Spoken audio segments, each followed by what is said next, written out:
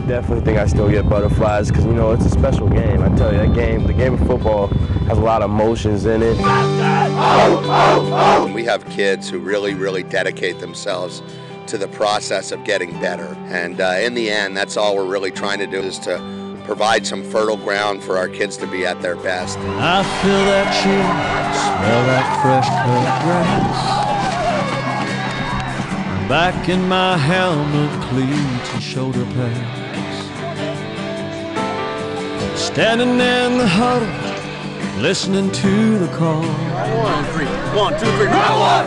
Fans going crazy for the boys of fall.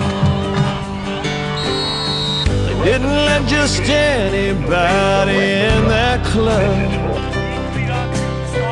Took every ounce of heart and sweat and blood get to wear those game day jerseys down the hall. Kings of the school, man where the boys are fall. Well, it's turning face the stars and stripes. It's batting back them butterflies. It's calling in the air around. Yes, sir, we want the ball.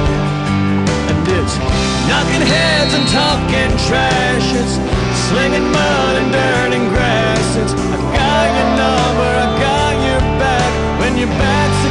The wall.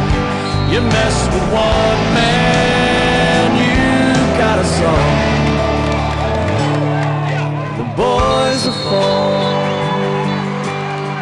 I think you're looking at a team that no matter what their talent level is on that particular night or that particular year, a team that just plays its, plays its heart out.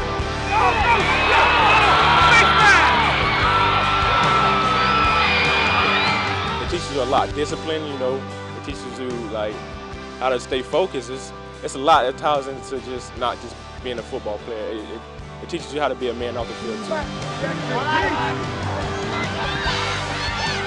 It's a pressure packed thing. You know, it, it doesn't matter what level you coach at. The little league coaches feel the pressure.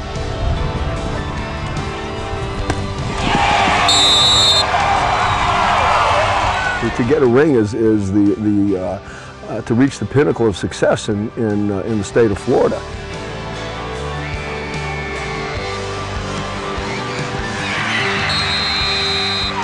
Oh, absolutely. Yeah, you know, nothing like Friday nights.